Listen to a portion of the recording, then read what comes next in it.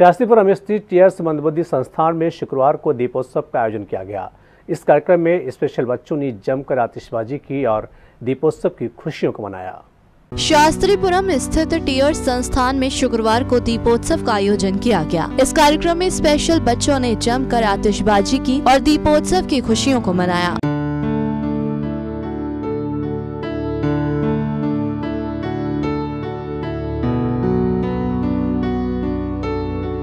Tears की निदेशिका doctor Rita Sharma ने कहा कि पिछले कई सालों से दवा व्यापारी एवं समाज सेवी तपन सेठ अपनी वैवाहिक वर्षगांठ पर स्पेशल बच्चों के बीच दीपोत्सव मनाने आते हैं। दीपावली आ रही है। सभी के लिए बहुत खुशी का माहौल है। तो टीयर्स में भी हर साल हम लोग दीपावली सेलिब्रेट करते हैं।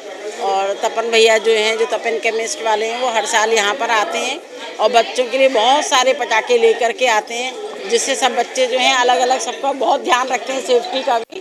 तो बच्चे जो हैं जलाते हैं और मेन हमारा ये एम रहता है कि आज के जो जो प्रोग्राम होता है कि हर बच्चे को ये मौका मिले कि वो पटाखे जलाए। समाज सेवी तपन सेठ को अपने बीच पाकर स्पेशल बच्चे खासा खुश नज़र आए। सी न्यूज़ के लिए अजय बहादुर की रिपोर्ट।